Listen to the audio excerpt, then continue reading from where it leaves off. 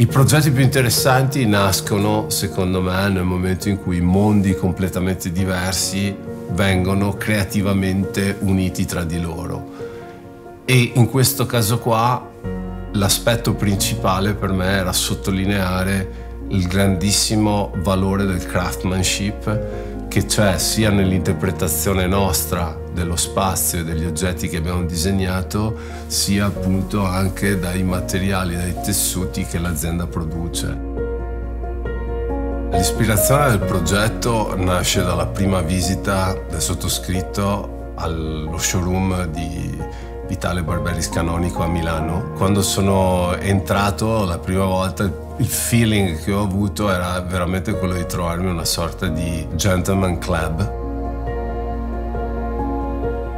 Di conseguenza proprio l'atmosfera del luogo ci ha portato poi a ragionare su creare quasi un mondo fantastico popolato da tutta una serie di personaggi ipotetici che abbiamo interpretato come se fossero delle lampade ma delle lampade antropomorfe che poi sono vestite in un certo modo.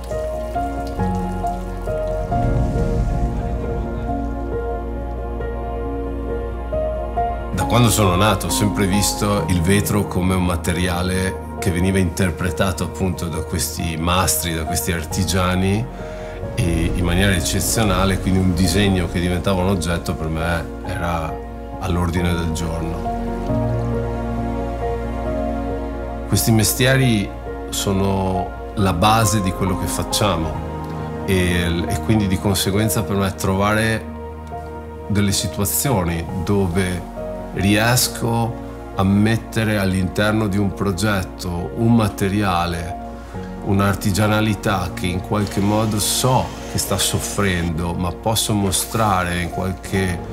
maniera completamente diversa un utilizzo più interessante, posso in qualche modo aprire delle piccole porte e dare l'opportunità di vedere appunto quali incredibili lavori si possono fare con determinati tipi di materiali.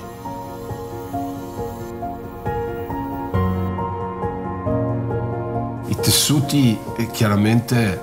sono, è un materiale molto interessante perché no, non, ha, non, ha, quasi forma, ha una struttura, ha un colore, ha un pattern, ma ma non ha struttura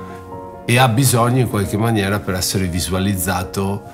in un certo modo di capire la sua tridimensionalità, come risponde alla luce, come viene scolpito, come viene in qualche maniera interpretato.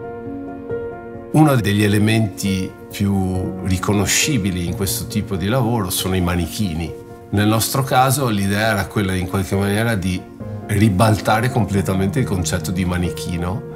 far sì che comunque un oggetto come una lampada potesse in qualche modo arrivare ad avere delle sembianze antropomorfe, ma creare comunque dei volumi. Questi volumi in qualche modo andavano a, ad aiutarci a creare tutta una serie di elementi per cui sopra questi possono crearsi dei vestiti ad hoc per un ipotetico personaggio che ha anche una personalità di un certo tipo. Quindi volevamo creare appunto questa sinergia, se vogliamo, tra mondi, ma non solo dal punto di vista proprio, come dicevo prima, didascalico, ma bensì andare a reinterpretare i processi e alcuni elementi dei processi per arrivare poi al risultato finale.